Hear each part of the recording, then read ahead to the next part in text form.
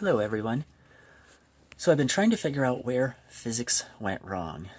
And uh, I only say it went wrong is because they don't seem to be predicting anything useful new lately. What you're looking at right now is two pieces of metal, or a single piece of metal, wrapped around a wire in a little glass jar. And uh, all it is is they're, looks like they're repelling themselves right now. And it's because they have a voltage on them. And if I discharge that voltage, oops, charged it instead. they they move. I've got my high voltage wand about three foot away, and I can definitely make this thing move with it. And oops, stuck them to the sides. So um, field forces do amazing and very interesting things, and um, physics used to be about this. This was it. It was that and magnets because they both do some very interesting, neat stuff. And then physics, I guess, got tired of that and moved on to particles, which kind of makes sense because particles were something different.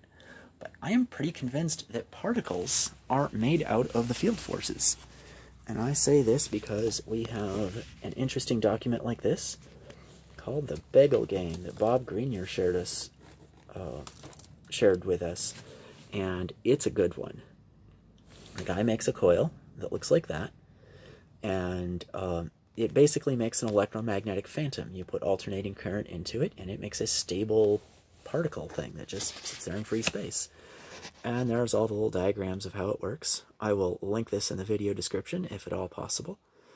And um, I made one of these coils, and it certainly makes a stable electromagnetic thing. You turn the coil off, you pull it out of the way, and the electromagnetic pattern just sits there for days on end till it can finally hit you, and well, it burned me on some occasions. Don't put too much power into these things. Anyway, um, but it kind of looks like that's what everything's made out of. This is a 4 to 1 ratio, and it's got 24 turns in each of these little coils and 24 turns around here. So, uh, left-hand helix appears to make a negatively charged item, just like an electron. And then you take interesting paper like this one, modeling the basic ring structures in elementary particles of matter. Here's the author. And um, I'll also link this one in the video description. And it's um, got diagrams that look very, very close to exactly what's uh, going on in those coils. And I would guess this one is looking a lot more like a neutron than a um, an electron, but who knows? Anyway, old system of modeling the electron, new system. Old system of modeling matter, new system only if you pay attention to the Bagel Game document. And you go, hey, these are made out of complete field forces. All of reality starts to make a lot more sense. All this crazy complexity of physics becomes, well, relatively simple.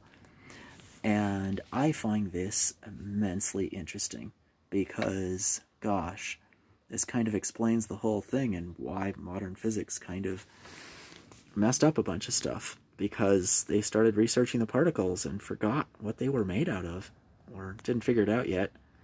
Anyway, so that's what I wanted to share.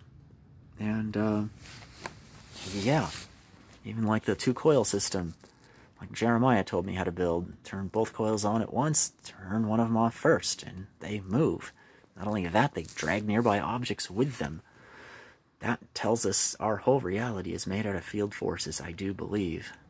Anyway, um, by the way, the uh, physics group um, needs a um, programmer. So if you can program uh, Arduino or Raspberry Pi or one of those sorts of things, things like timing on coils is relatively easy to do in software, but a real pain in physical hardware like CMOS chips and that kind of stuff.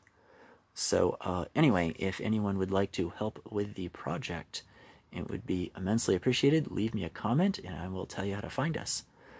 Um, hope you learned something here and hopefully I was clear enough with everything. Leave comments if you've got any questions and all the relevant stuff should be in the video description. Okay, bye.